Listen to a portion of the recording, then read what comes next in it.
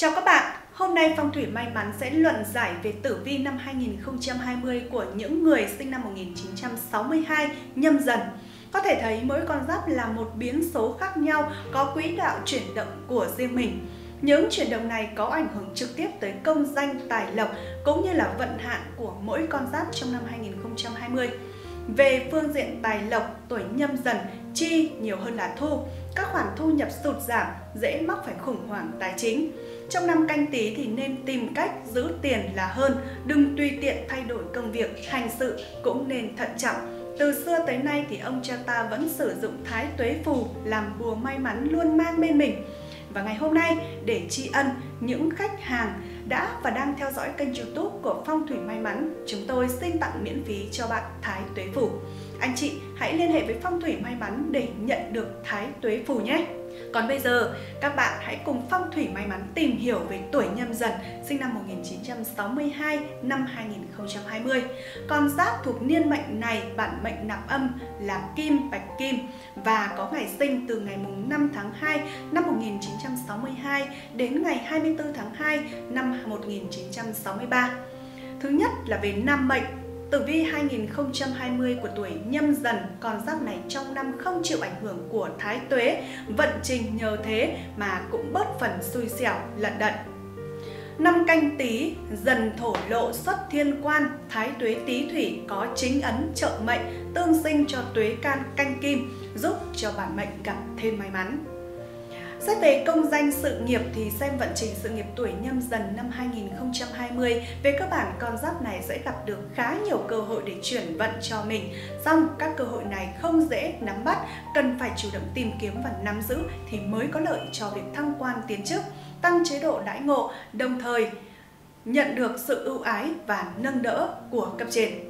Xong con giáp này cũng cần phải chủ động và tích cực, đồng thời tận dụng các mối quan hệ sẵn có bởi thái tuế không trực tiếp tương sinh cho bản mệnh nên chỉ có cơ hội chứ không cho may mắn. Để năm 2020 có chút khởi sắc hơn, Phong thủy may mắn tặng miễn phí cho bạn thái tuế phủ là bùa may mắn cho các bạn tuổi dần. Hãy nhớ liên hệ với chúng tôi để nhận món quà này nhé. Ngoài ra thì thái tuế là tý thủy là chính ấn tinh của tuổi nhâm dần, tượng trưng cho sự giúp đỡ hỗ trợ của trưởng bối với con giáp này. Đồng thời cũng thể hiện sự thuận lợi trong các dự án có tính lưu động lớn như là thủy lợi, thủy sản hay kinh doanh mặt hàng ẩm thực ăn uống. Trong năm cũng có khá nhiều hung tinh nhưng nhờ có các tinh che chở lại không chịu ảnh hưởng của thái tuế nên không gây ra quá nhiều hậu quả nghiêm trọng. Tuy nhiên, nó vẫn dễ mang tới những trận kinh sợ hoặc là tổn hại nho nhỏ với bản mệnh. Sự nghiệp của tuổi nhâm dần năm nay có thiên ấn và trinh ấn cùng trợ mệnh, chuyện chuyển việc, xin việc, thăng quan tiến chức sẽ vô cùng dễ dàng. Tuy vậy, người tuổi dần cũng cần phải cẩn trọng vì dễ có tiểu nhân hãm hại, gây điều tiếng xấu. Chính vì thế thì hãy thỉnh ngay vòng tam hợp quý nhân. Vòng tam hợp quý nhân giúp chiêu quý nhân hóa giải thị phi, tăng cường tài lộc. Có quý nhân phù trợ thì ắt công việc sẽ dễ dàng được như ý muốn. Xét về tài lộc của tuổi nhâm dần năm 2020 thì vận trình tài lộc của con giáp này có canh kim thiên quan tọa thái tuế chính ẩn trong năm đường tài lộc khá là tốt. Mệnh chủ sẽ đạt được sự tăng tiến trong lương thưởng và mức đãi ngộ, có thể được quý nhân phù trợ để giải vận không ngừng phát triển. Quý nhân của tuổi hổ có thể là nữ mệnh lớn tuổi trong nhà hoặc là người thân lớn tuổi về phía bên họ ngoại. Các dự án liên quan đến ẩm thực, đồ uống, thủy lợi, thủy sản sẽ dễ thu lợi về tay, song dù làm gì thì cũng cần phải chủ động sáng tạo, thấy cơ hội tới là dùng hết sức lực để nắm giữ cho mình. Để cho công việc kinh doanh của bạn được hanh thông hơn, hãy sử dụng mặt dây thập nhị bát bảo. Thập nhị thần bát bảo là vật phẩm phong thủy được thiết kế bằng bạc 925, mặt trước là bát bảo tượng trưng cho tám bảo vật quý của nhà Phật dùng để tăng phúc đức, kỵ tà, đem lại may mắn. Mặt sau của thập nhị thần bát bảo là hình tượng của thập nhị địa chi 12 con giáp. Trong cùng là âm dương bát quái có tác dụng chiêu quý nhân từ 12 phương vị giúp cho bạn có được công việc hanh thông, lộc tài, thăng tiến. Xét về tình duyên thì trong năm đường tình duyên bất thuận nhà cửa dễ bị trộm cắp ghé thăm.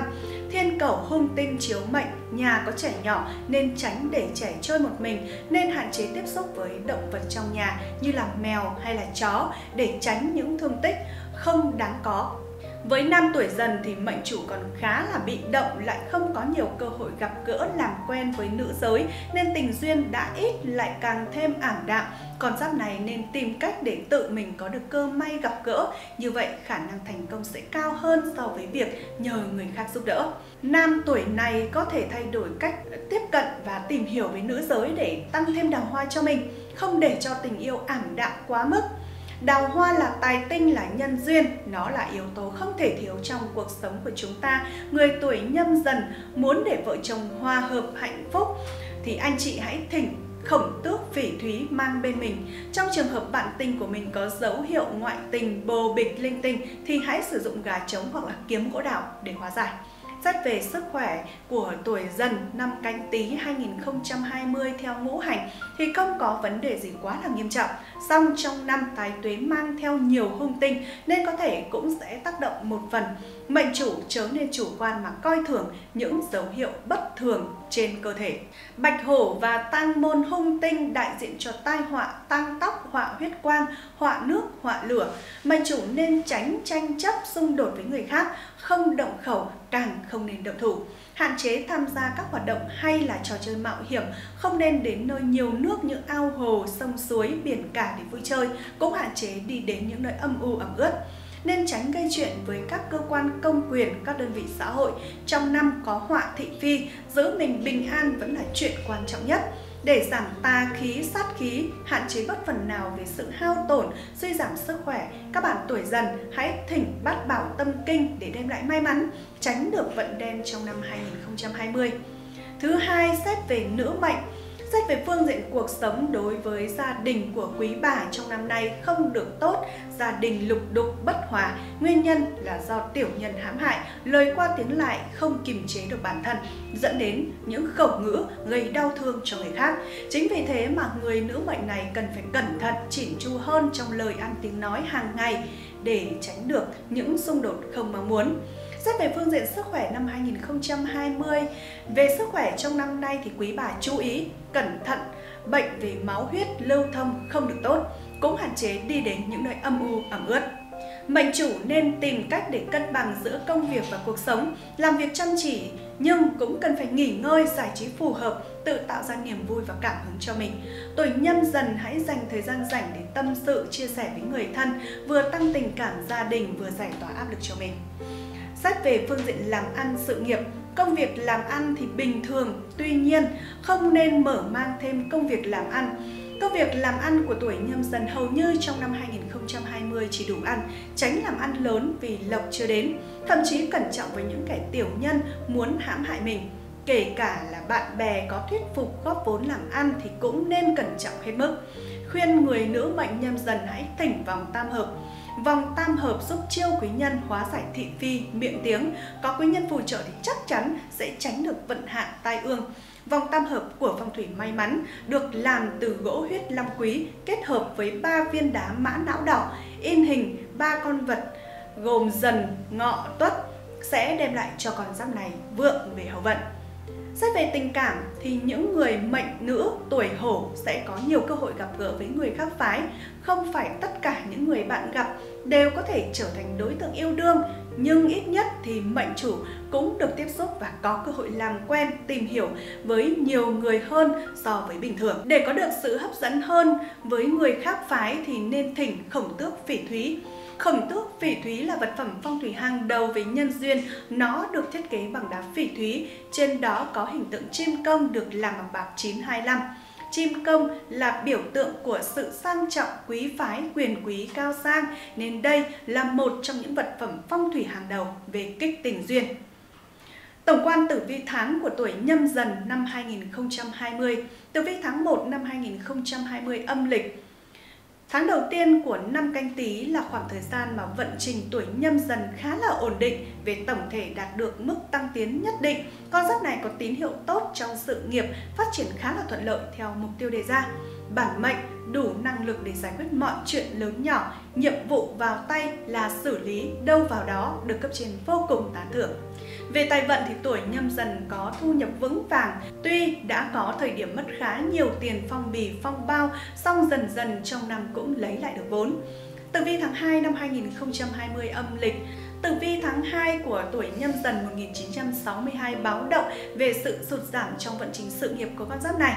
Trong tháng con giáp này gặp không ít khó khăn trong công việc, thất bại trồng chất khiến cho bản mệnh mất dần đi lòng tự tin của mình. Trong trường hợp năng lực có hạn, con giáp này nên nhìn nhận rạch ròi sự khác biệt giữa lý tưởng và hiện thực. Hãy sống thực tế, làm việc thực tế. Tử vi tháng 3 năm 2020 âm lịch, theo dõi vận trình tháng 3 năm 2020 âm lịch, người cầm tinh con hổ đang phải đối mặt với sự sụt giảm từ trong tài vận của mình. Sức khỏe thì bình bình không tốt mà cũng chẳng xấu. Dù là vận chính tài hay là thứ tài thì tuổi nhâm dần cũng không gặp may, chuyện xui xẻo liên tiếp xảy ra khiến cho thu chẳng đủ bù chi. Đứng trước nguy cơ tài chính lớn nhất từ trước đến nay thì có thể bản mệnh sẽ chẳng còn cách nào khác ngoài việc trong tháng tìm cách vay mượn xin trợ giúp của bạn bè và người thân. Về phương diện sức khỏe thì bản mệnh cần lưu ý thêm về cân bằng tâm lý, đừng để áp lực công việc khiến mình mất cân bằng cảm xúc. Tiền bạc và công việc tuy quan trọng nhưng bản thân cảm thấy vui vẻ và hạnh phúc là điều quan trọng nhất. Hãy học cách suy nghĩ tích cực, lạc quan khi đối mặt với mọi vấn đề trong cuộc sống nhé tử vi tháng 4 năm 2020 âm lịch. Trong tháng 4 âm lịch này thì tuổi nhâm dần đang có khá nhiều biến động trong tài vận. Theo hướng tiêu cực thì tiền của trong túi đang không cánh mà bay. Về công việc thì bản mệnh cần phải lưu ý khi sử dụng các giấy tờ văn kiện quan trọng, nhất là những bạn làm thư ký, văn thư hay trợ lý kế toán. Cần tập trung tinh thần khi làm việc, chú ý đến mọi tiểu tiết dù là nhỏ nhất để tránh sai lầm không đáng có. Tài vận của tuổi dần trong tháng 4 này không ổn, bản mệnh cần phải xác định rõ nguồn thu chủ yếu của mình đến từ công việc chính, không nên tùy tiện mang tiền bạc cho bạn bè vay mượn hay là đầu tư khi bản thân chưa thực sự hiểu. Nếu không làm được như vậy thì tiền chỉ có không cánh mà bay thật. Tử vi tháng 5 năm 2020 âm lịch Tiến sang tháng 5 âm lịch, người tuổi dần sẽ có những bước chuyển biến tích cực về sức khỏe. Trong tháng thì cũng rất là tốt. Về phương diện sức khỏe thì tuổi nhâm dần dù nhiều tuổi không phải chịu sự dày vò của bệnh tật. Tuy nhiên, mệnh chủ cũng cần phải lưu ý đến chuyện ăn uống, sinh hoạt điều độ, đừng ham ăn ham uống mà gây hại cho sức khỏe về lâu về dài.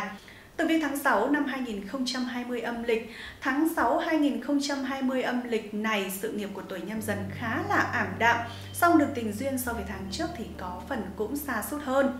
Trong tháng này, công việc của bản mệnh đang gặp nhiều khó khăn, tuổi nhâm dần dễ bị người khác theo dệt chuyện thị phi thất thiệt. Trong quá trình làm việc thì bàn bạc, thương lượng với khách hàng, bản mệnh hãy kiểm soát cảm xúc của mình thật là tốt, đừng nói năng thiếu suy nghĩ mà mang họa vào thân. Để công danh sự nghiệp được tốt hơn, trong năm nay bạn hãy thỉnh vòng tam hợp hoặc là dây thập nhị bát bảo để mọi việc được suôn sẻ, may mắn hơn. Mệnh chủ có thể đắc tội với khách hàng dẫn đến những hậu quả đáng tiếc khi bị kiện cáo vướng vào vòng lao lý. Trong cuộc sống thì không phải lúc nào cũng có sự công bằng. Bạn đừng mong chờ rằng ông trời lúc nào cũng thương người nhé. Trong chuyện hôn nhân thì những người tuổi nhâm dần có cái tôi khá là lớn, thường vì những chuyện nhỏ nhặt mà cãi cọ xung đột với nhau, đôi bên lại không kịp thời ngồi lại nói chuyện, bàn bạc với nhau nên những hiểu lầm càng về cuối tháng thì càng trở nên sâu sắc, tình cảm đôi đôi cũng vì thế mà phai nhạt dần.